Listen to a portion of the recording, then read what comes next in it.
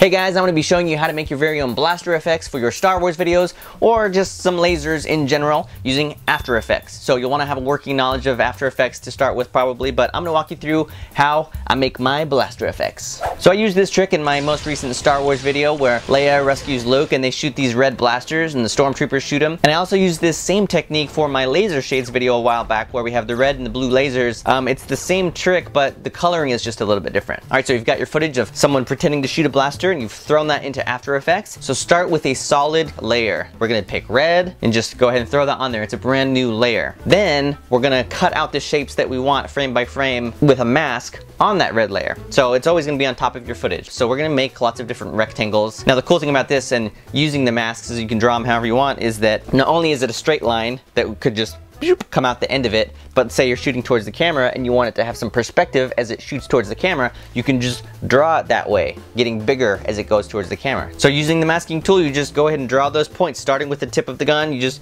draw two points here, draw the other two points where you want them. Once you've drawn your shape on the first frame, make sure you have your keyframes turned on, and then on the next frame, you move it a little bit further into the distance. So you just keep adding keyframes and just moving your keyframes of that rectangle of that shape so it gets further and further away. Typically, a laser like this is going very fast, so you want to go by probably coming out of the barrel for one frame and then it's gone. If it's a wider shot, you'll see it for two frames. If it's a really, really wide shot, you're probably one, two, three, four, maybe you see it, you know, going into the distance or whatever. So that's your basic shape of the blaster coming out. It matches your footage.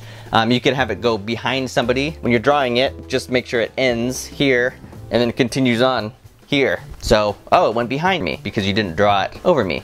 Simple as that. So you're always drawing it on top of the footage, of course, but you can make it look like it's interacting with stuff or going behind stuff. So for these red Star Wars blasters, we've already started with the red color, but go ahead and add a glow. So this is just the basic glow effect. You just drop that right on that color layer, and then you can change your settings a little bit to uh, make it the type of glow you want, how big, how small, whatever. Now this is the Star Wars blaster with red on red, but for my laser shades video, where I wanted it to be more of like a generic laser, the inside of the beam is actually white. It's kind of a trick. It looks like, oh, it's a green laser, it's a blue laser, but actually it's just a solid white layer and then the glow is the color. And the reasoning behind that is like if you're shooting this footage in real life and someone shoots a laser like that, you imagine it's so bright that it's gonna just blast out to totally white and then you see the color as the light kind of dissipates. So the technique is exactly the same, it's just a matter of picking your colors a little bit differently. So that's pretty much it for the lasers and the blasters. Um, of course, if you wanna have them hitting something and you wanna add in some sparks or explosions, you know, you can do that using a number of resources out there. Like Video Copilot has Action Movie Essentials